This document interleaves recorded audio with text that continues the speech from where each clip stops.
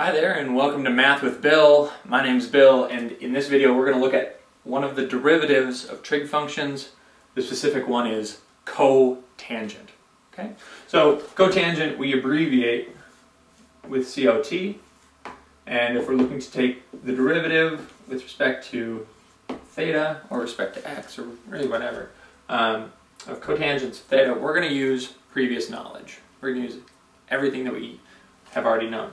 Now, one way to describe cotangents of theta directly would be to use its quotient property uh, or quotient identity of it being cosine theta divided by sine theta. And we could go through and use the derivative property for quotients, and that would give us the same answer, but I've got a quicker way to get there, and that's by using our other identity, the reciprocal identity for cotangent, which is 1 divided by tangent of theta. Okay, This one's going to be a little bit quicker, few less steps. If you want to do it the other way, go for it. Okay, But I've got 1 divided by tangents, which is the same thing as tangent theta to the negative 1 power. That being said, if I want to take the derivative here, now it's pretty simple because I know the derivative of tangents and I only have a general power rule.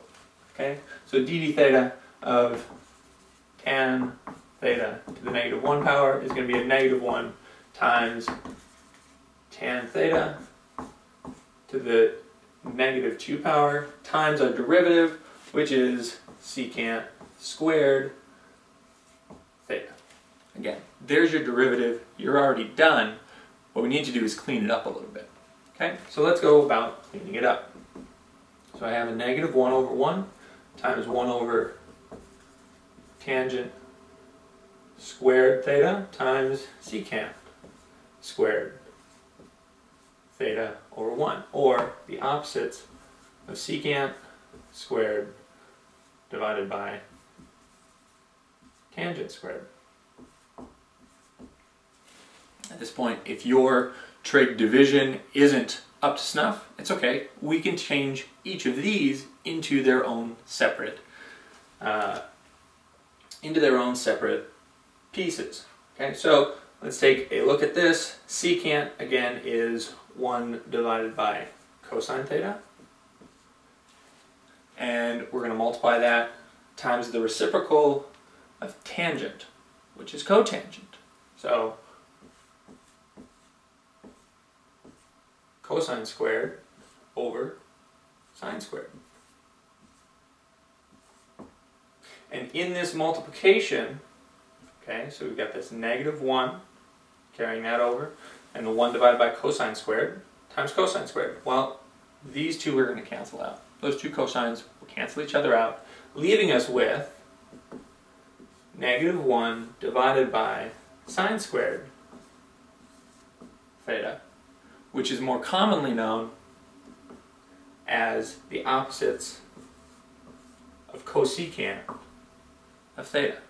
So, in short, our derivative with respect to theta of cotangents. Theta is equal to a, a negative cosecants. Theta squared. So that finishes that finishes out this video series. If you haven't yet viewed the limit definition to where we get our sine and cosine from, you should do that because it might be required on a test that you take. Again, derivative with respect uh, the derivative of cotangent is the opposite of cosecants squared. Thanks. Have a good day.